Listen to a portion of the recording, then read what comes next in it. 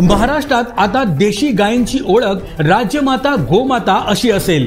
भारतीय संस्कृती जपणाऱ्या देवाभाऊंच्या महायुती सरकारने हा मोलाचा निर्णय घेतला आहे.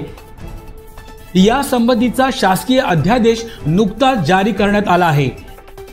महाराष्ट्रात देशी गायींच्या संख्येत वाढ करून त्यांचं संवर्धन करण्याच्या दृष्टीने देशी गायींच्या पालन पोषणासाठी पशुपालकांना प्रेरित करण्यासाठी हा महत्त्वाचा निर्णय घेण्यात आला आहे. राज्यात देशी गायींच्या संवर्धनासाठी प्रति गाय प्रतिदिन पन्नास रुपये अनुदान देण्यात येईल. गोशाळांना अत्यल्प उत्पन्न असल्याने त्यांच्या मदतीसाठी हा निर्णय घेण्यात आला आहे. त्या देशी गायीचं संवर्धन झालं पाहिजे म्हणून हा दर्जा देण्यात आलेला आहे.